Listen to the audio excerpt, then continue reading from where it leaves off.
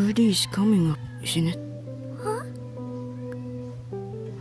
Oh, you mean my birthday? How could you forget it? It's because my birthday changed from one family to another. At Miller's, at Brooks, at Williams, at Levski's, at Ruchi's. I thought you meant someone else at first.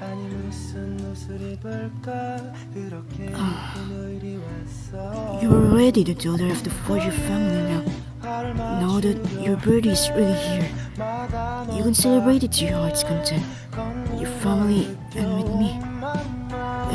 Jeez, this is embarrassing. I've always tried not to think that. My birthday may not come next year while eating the cake. Then, do you remember about us? Huh? What? What? Like the day we started dating. Our anniversary. Huh? The day? Sorry, but you're too detailed. Did you forget the day we kissed? So, I can't remember that much. look, it doesn't matter which one. Oh, since you're so forgetful, At least I didn't forget your birthday.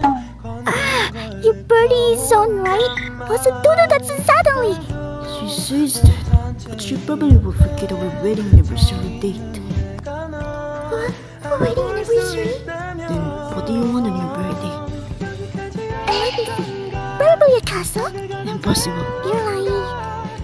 I don't think they'll be interested, but may I pick a hat ring? I don't mind if you only wear it when we go on a date together. You don't want I'm shocked. it's something important. Anyway, so I said, putting that ring here. But that's also where father and mother put the ring on. I'm serious.